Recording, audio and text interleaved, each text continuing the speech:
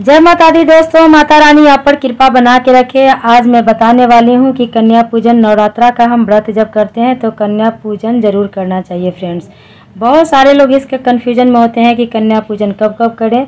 वो हर चीज़ हम इस वीडियो में बताएँगे, क्योंकि कन्या पूजन आप जब करते हैं तो विशेष धन बढ़ता है, धन का लाभ आपको मिलता है। साथ ही माता रानी का विशेष कृपा प्राप्त होता है। तो जब भी नवरात्रा का व्रत करते हैं तो आपका नौ कन्या का पूजन ज़रूर करना चाहिए, कभी भी नौ कन्या का पूजा करना ना भूलें। सबसे पहले हम ये बताना चाहते हैं, फ्रेंड्स, कि नौ कन्या का पूजन आप नवरात्रा का नौ दिन में हर दिन आप कर सकते हैं। आपके आसपास में एक दो जितना भी लड़की मिलती है, छोटी, दस साल से छोटी उम्र का लड़की को लेना है। उनको ही चरण धो करके, पैर धो धो करके सब कुछ चढ़ाइए, पूजा कीजिए, उनको कुछ खिलाइए। उससे जितना वो लड़कियाँ आपके घर में हाथ धुलाई करती हैं, उतना ज़्यादा आपका धन बढ़ता है। आप तो हर दिन आप नौ कन्या के पूजन कर सकते हैं और के साथ ही सप्तमी, अष्टमी, नवमी में नौ कन्या के पूजन विशेष करना चाहिए। चलिए, उसके लिए मैं क्या क्या सामान इकट्ठा करती हूँ? नौ कन्या के पूजन के लिए आपको सबसे पहले लौंग, इलायची एक जगह रख लेना है। उसके साथ ही रोली, अक्षत टीका उनको लगाने के लिए, उनको पूजा करने के लिए ये सभी एक जगह आपको रख लेना है।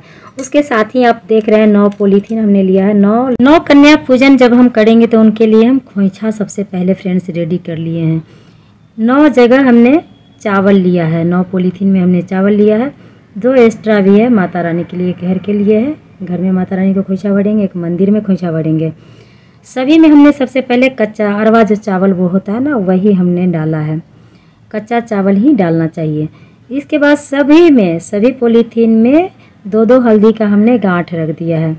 उसके बाद सभी पॉलीथीन में हमने दो दो जुड़वा घास होता है ना, वो भी डाल दिए हैं।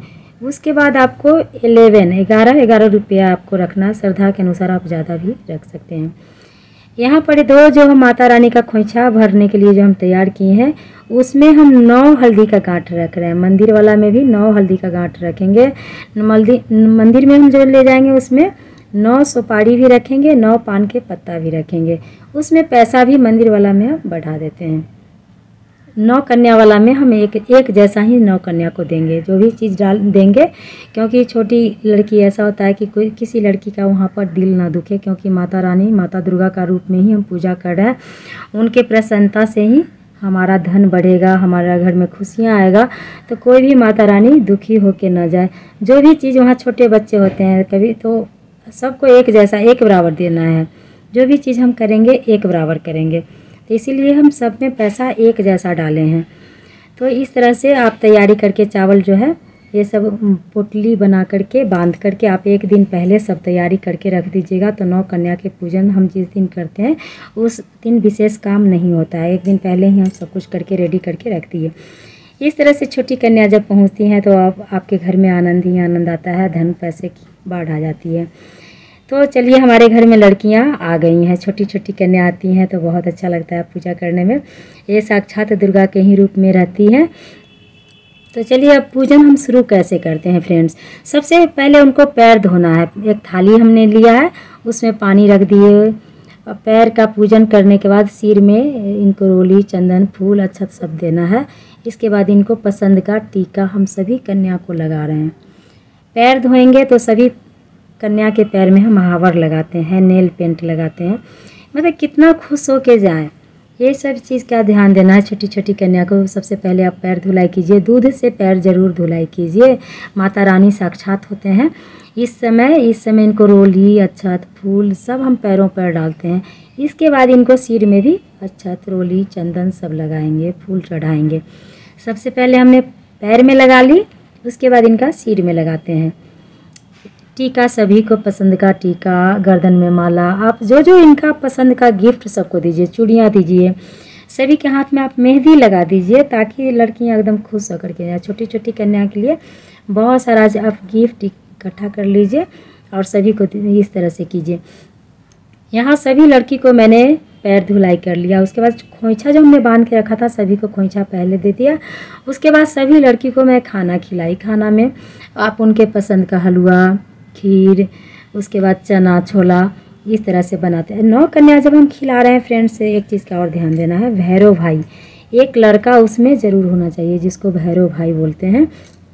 जब तक नौ कन्या में एक भैरव भाई नहीं होगा, तब तक हमारा पूर्ण नौ कन्या के खिलाने का फल का प्राप्ति नहीं होता है। और लास्ट में नौ कन्या यहाँ पे खाना खा ली हैं लास्ट में आप उनका पसंद का गिफ्ट बहुत सारा चीज़ दे सकते हैं। मैंने छोटा सा रुमाल रखी कॉपी कलम, आप कुछ भी दे सकते हैं, इनका और भी अच्छा अच्छा चीज़ गिफ्ट गिफ्ट इनको कर सकते हैं। फल मैंने एक एक केला दिया, आप चाहें तो फल में सेव, संतरा, आप जितना ज़्यादा चाहें तो इनको दे सकते हैं। जितना ज़्यादा ये खुश होकर लड़कियाँ जाएँगी, उतना ज़्यादा आप पर माता दुर्गा रानी का कृपा बनेगा। इस तरह से नौ कन्या का पूजन आप करेंगे तो आप भी देखिएगा आपका घर और ज़िंदगी में चार चाँद लग जाएगा। इस तरह से माता रानी को ज़रूर खुश करें, नौ कन्या के पूजन इस तरह ज़रूर करें। लास्ट में आपको माथा पटक करके सभी को प्रणाम करके और आशीर्वाद मांगना है। इससे आपका व्रत का पूर्ण फल मिलता है। तभी आपको खाना खाना चाहिए, व्रत तोड़ना चाहिए। हम लोग इसी तरह से व्रत तोड़ते हैं नौ कन्या का। जब तक हम खाना नहीं खिलाते हैं, तब तक हम खुद खाना नहीं खाएँगे। व्रत हम तब तक नहीं तोड़ेंगे। पूर्ण फल आपको तभी मिलेगा। इस तरह से आपने फ्रेंड्स देख लिया कि नौ कन्या पूजन से धन का हानि रुक जाता है, आपके घर में भी तरक्की होने लगता है। इस तरह से कन्या का विदाई ज़रूर करें।